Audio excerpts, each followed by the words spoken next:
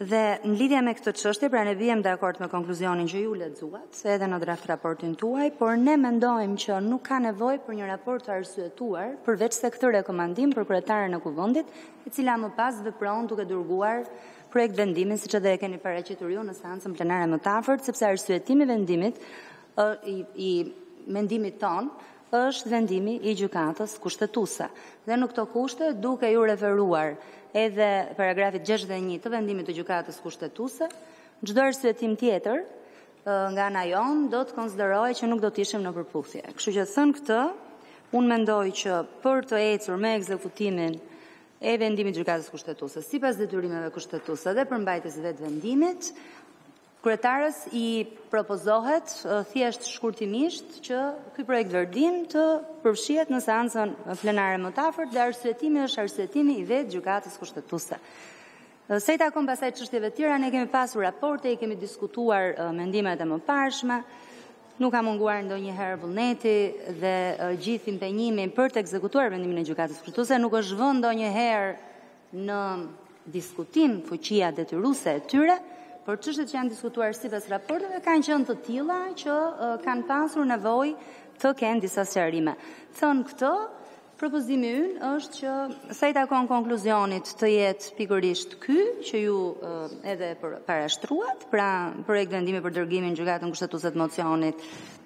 të jo më pak se një të dhjetës së deputetëve për konstatimin e pavlefshmërisë së mandatit të deputetit në seancën plenare më të afërt me arsyetimin që që ka vendimi i gjykatës kushtetuese. Falem, faleminderit. Faleminderit zonja Bushka, po zoti Bardhi. Faleminderit zonja kryetare. Në fakt, e vërteta është pak ndryshe nga sa e thjeshtoi kolegja e nderuar Bushka. Gjykata Kushtetuese në vendimin pesëdhjetë e pesë i dy mijë e njëzet e katër ka konstatuar për herë të parë që një mazhorancë politike në Kuvend ka vënë në diskutim fuqinë detyruese të vendimeve të Gjykatës Kushtetuese. Në rastin konkret, Me vendimin numër një të vitit dy mijë e njëzet e tre, Gjykata Kushtetuese ka dhënë identik të njëjtin vendim, por me një vendimmarrje politike të paprecedentë në historinë e Kuvendit të Shqipërisë, ju shpallët pavarësinë ndaj vendimeve të Gjykatës Kushtetuese. Madje madje edhe pas publikimit të këtij vendimi, mua më bëhet shumë qejfi që ju keni ndrruar qëndrim, sot, sepse qëndrimi i mëparshëm i grupit tuaj parlamentar ishte që Gjykata Kushtetuese të thojë çfarë të dojë, ne do bëjmë çfarë të duam. Ky ishte thelbi i qëndrimit tuaj politik në raport me Gjykatën Kushtetuese. Ka qenë deklarata e ish kryetarit tuaj të grupit që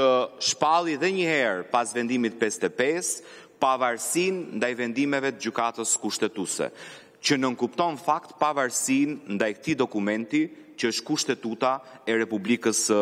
Shqipërisë. Dhe kur ju dëgjova, punë të mira e me radhë, në fakt unë uroj